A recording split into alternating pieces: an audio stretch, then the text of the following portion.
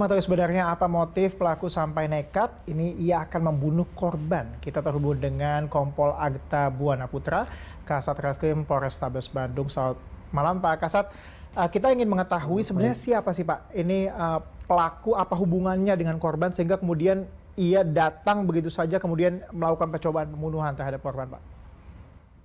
Baik Mas Gajar, jadi saya bisa sampaikan memang sampai sekarang motif yang pastinya masih kita dalami karena korban sendiri setelah kami uh, periksa kemarin masih menyatakan bahwa hubungan dengan si pelaku ini hanya melalui medsos dan uh, komunikasi selewat saja. Hmm. Nah, namun dari komunikasi yang selewat itu, yang bersangkutan pelaku ini langsung emosi, kemudian melakukan penyerangan di uh, hari Sabtu pukul 15.00 di tempat kerjanya korban di klinik giginya korban.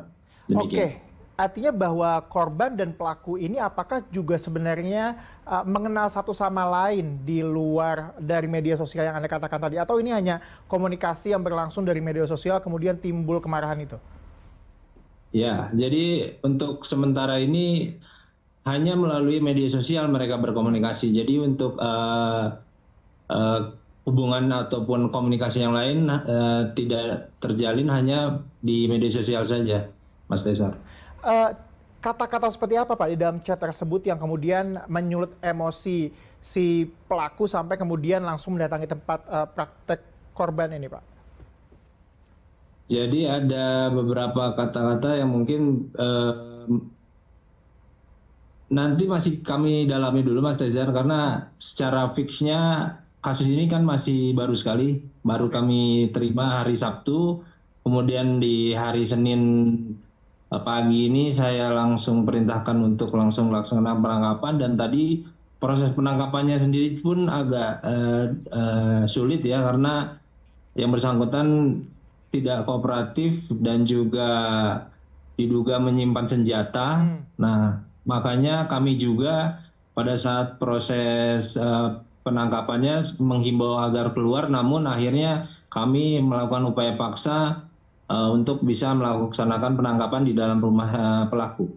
Oke, uh, kita kan melihat Pak, ini kan video-video dari rekaman CCTV-nya ini kan beredar luas di media sosial begitu dengan uh, caption yang sedemikian rupa. Nah, apakah pihak kepolisian memiliki krono, kronologis yang apa yang ya faktanya begitu Pak terkait dengan uh, kejadian ini dari awal sampai kemudian polisi akhirnya membaku korban di kediamannya uh, dengan cara paksaan tadi yang Anda katakan. Ya, jadi uh, kejadiannya tersendiri itu terjadi di hari Sabtu tanggal 21 Oktober uh, pukul 15.16. Lokasinya di Klinik Gigi Rata di Pasir Kaliki. Kemudian eh, SS ini atau pelaku ini eh, datang ke tempat kerja kemudian melakukan pengancaman untuk akan membunuh korban sambil berteriak ya di lokasi tempat kerja. Kemudian oleh korban ini yang bersangkutan dibawa keluar. Nah di, okay. di lokasi sekitar klinik itulah dilakukan upaya penusukan terhadap korban, namun alhamdulillah korban bisa menghindar, tidak tersutuk, hanya tergores saja.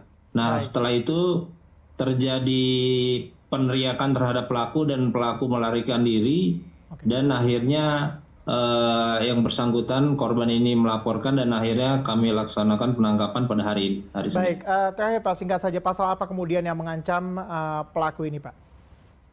Ya, untuk Pasal masih kita dalami, Mas. Sementara dugaannya masih pasal 351 KUHP junto 335, tapi masih kita dalami karena yang bersangkutannya memiliki senjata laras panjang tiga pucuk dan juga senjata laras pendek satu pucuk beserta juga ada beberapa senjata tajam. Jadi masih kita dalami karena baru setelah penangkapan ini baru bisa kita laksanakan pemeriksaan tersangka. Baik Pak terima kasih atas informasi yang telah Anda sampaikan di Berita Satu Malam Pak. Selamat bertugas kembali Pak.